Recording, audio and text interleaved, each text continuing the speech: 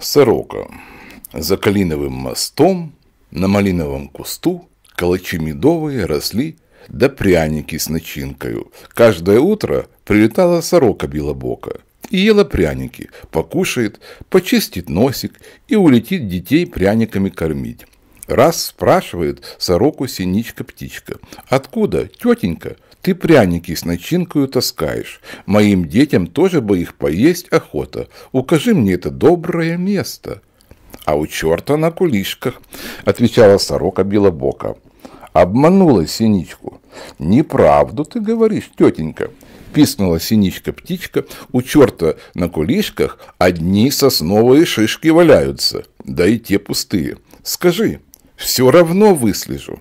Испугалась сорока Белобока, пожадничала, полетела к малинову кусту и съела и калачи медовые, и пряники с начинкою, все до чиста.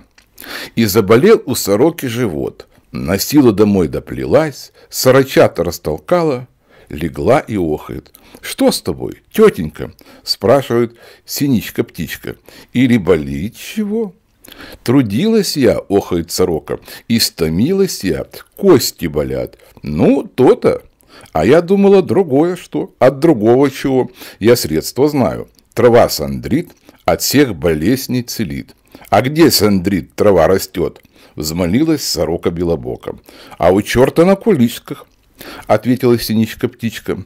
Крылышками детей закрыла и заснула. У черта на кулишке одни сосновые шишки – подумала сорока, да и те пустые, и затасковала. Очень живот болел у Белобокой. Из боли до тоски на животе сорочьем перья все повылазили, и стала сорока голобока от жадности.